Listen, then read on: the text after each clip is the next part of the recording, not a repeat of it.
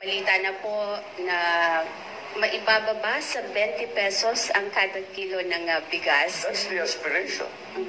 Paano po natin yung gagawin dito? what- Ibubuhay natin yung value chain na pinag-uusapan ko sa ano. Kausap ko na yung mga ibang trader. Baka pwede nating i-hold ng ilang buwan yung presyo ngayon. Uh, uh, we're, we, I think we'll be able to do it uh, for, as a first step. But in the long term, we really have to fix our value chain. That's the only way. Ngayon, ang nagiging problema sa one of the problems that, that, that is popping up in agriculture, yung edad ng ating mga magsasaka.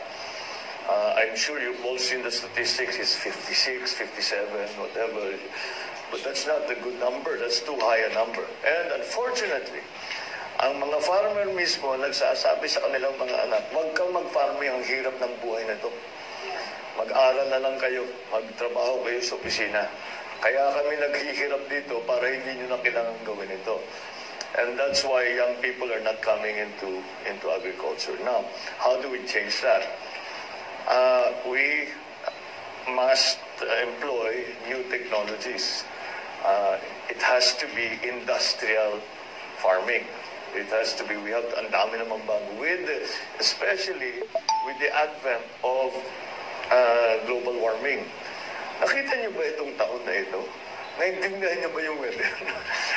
Kung kailan yung uh, tag-araw, kailan yung tag-ulan. Sinasabi ng pag-asa sa atin, tag-araw ngayon, pero panay naman ang ulan. Sinasabi nila, tag-ulan na, hindi naman umuulan. so, talagang mag, masyado na magulo. That's why we need high-tech solutions. And that will bring younger people in. Uh, because we're not talking anymore about traditional farming only. Of course, you will still have to put seeds into the ground. know. But marami ng bagong technologies that are developed by younger people. And so they can get involved in, in agriculture again. Uh, like I said, COVID changed everything. We cannot depend on the old system. Uh, we cannot depend on what we as on business as usual. That would be a disaster. If you the pre-pandemic world is never coming back. That is a, a hard truth that we all have to, to accept. Uh, and the, what's coming is something that we are not, we don't quite know yet. But it's beginning to show what, what, what that will be. So in, in terms of agriculture, we have to move with the times.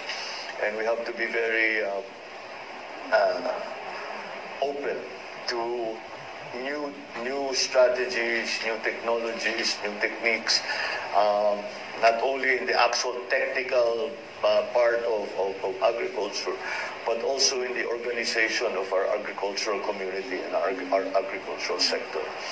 Uh, so, yeah, that's uh, that's something that we have to deal with. So if we, the aspiration is 20 pesos. It, I don't know. If I, I think it, uh, we, if we work very hard at it, baka maabot natin yun.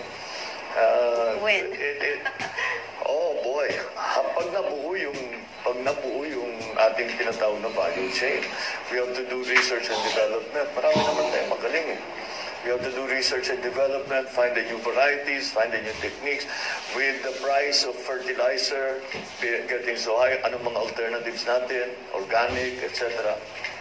Uh, and how do we how do we uh, mass produce that? Uh, in the long in the doesn't. And then the, we have to bring all these new uh, technologies to the farmer. And we have to teach them what is new, how to best uh, how to best take advantage of uh, all of the things that we have discovered. We have to find new ways of of, of uh, produce of production. And I, when, you know, agriculture naman, pinag-uusapan, hindi lang bigas yan eh. Hindi lang crops yan. eh. Fisheries yan at saka livestock. So lahat yan kailangan natin tingnan. And it, with, with in mind, you should always keep in mind, there must be sufficient food supply. Kailangan may sapat na bigas, kailangan, kasi yan ang ating ano, uh, meron. We have to also look at protein. Siyempre, livestock, fisheries. Hindi lang naman iisa yan. So, uh, that, that has to be developed. Now, the, the good thing about that is that Uh, for the Philippines, we don't have to reinvent the wheel. Marami naman tayong pupuntahan na magpaturo tayo. Uh, ang masakit lang dyan is these are the people that studied in UPLB. na ngayon pupunta natin, ano pa, paano ba yung pinakabago, pinaka, pinakamaganda? Eh, yan yung mga nasa IRI noon, nasa PhilRice, uh, bumalik na, umuwi na, and they're making a success of agriculture.